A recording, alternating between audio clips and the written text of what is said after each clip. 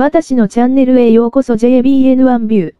郡川清コンサートツアー2022。越谷市小なり演歌歌謡曲大なり。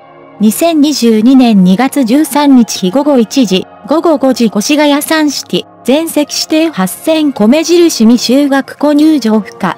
代表曲、箱根八里の半次郎でデビュー、清のソーラン節、清のずんどこ節、バンバの中太郎ときめきのルンバ、一見第48回日本レコード大賞、受賞、大丈夫ほか。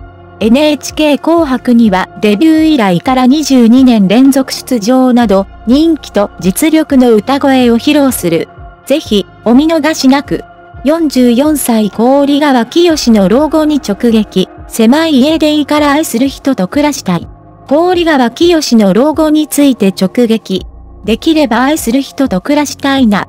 8月にポップスアルバム You Are You を世に送り出したばかりの郡川清が21年年代2弾シングルハッピー森を抜けてを発売するする。ここ数年は年明けにリリースした1曲を大事に1年間歌い続けることが多かったが、攻めのリリースラッシュ。ホットパンツニーハイブーツでヘドバン、郡川清役館のステージパフォーマンス。44歳になっての初めて。両 A 面ともにポップスなのは初めてですね。ハッピー、場踊り出したくなるような曲。ウキウキするでしょ？やっぱりコロナ災いだから、今は人と会って遊んだり、久しぶりでハグしたり、触れることもできない。そんな環境の中で、ないものばかりに目がいってしまうけど、人と繋がっている絆や心、すごく平凡なことがすごく幸せなんだよ、ということが感じられる曲になっています。ハッピーは10月30日公開の映画老後の資金がありません。の主題歌になっている。意外なことに映画主題歌を担うのは初。聞いた時は嬉しかったですね。44歳になっても初めてをやらせてもらえるのはすごくありがたい。やっぱりいつでも新鮮な気持ちで仕事をしたいので、なんか、パターンというかルーティンマンネリ化しちゃうのは嫌だから、主演の天海祐希から電話がかかってきて聞いたわよ。すごく映画にぴったりと喜ばれたそう。よかったと思いました。今回のジャケット写真は、天貝さん演じる敦子のちょっとおっちょこちょいな部分をイメージして、ポップでお茶目にしてみたんですよ、ショー。自分も死者を見たんですが、腹を抱えて笑いましたね。ハラハラドキドキして、お笑いもあって、そしてすごくあったかいものがあって、やっぱり心なんだなぁと思ったし、それこそハッピーになれる作品で。ちなみに、老後資金について尋ねてみると、映画を見て考えないといけないなって思いましたね。44歳、ちょうど人生の半分くらいなんだと思うんですけど、ちゃんと貯めておかないといついつい使っちゃう性格だから、小、老後ですか？できれば一人ではいたくないかな。地味で狭い家でいいから愛する人と暮らしたいな、なんて思うけど、年を取ったら離れたいって思ったりするんでしょうね、小。そして歌はやっぱり歌っていたい。どういう形であれ携わっていたいですね。新たな朝へ、希望に満ちた曲。両 A 面のもう一曲は森を抜けて、新たな朝に向けて動き出す前向きなバラードとなっている。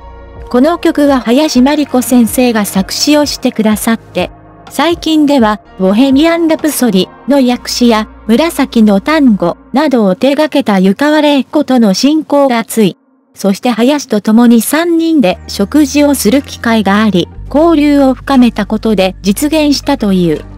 林先生とは色々と腹を割って何でもお話しできる関係性が作れて、その中から言葉を紡ぎ出していただきました。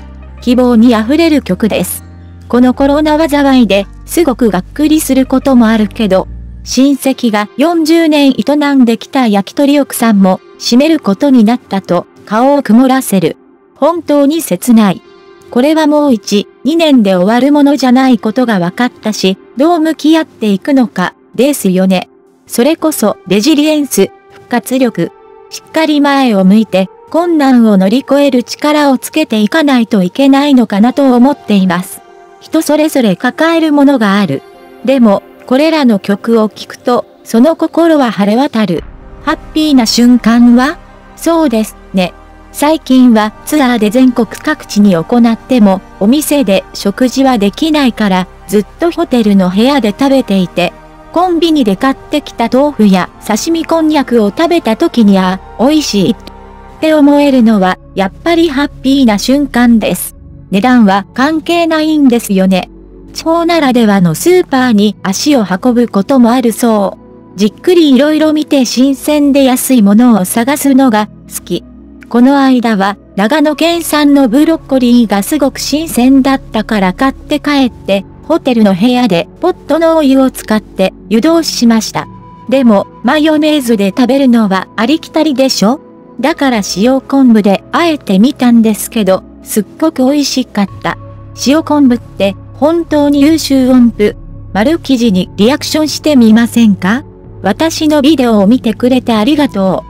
最新のビデオを受け取るために私のチャンネルを購読してください。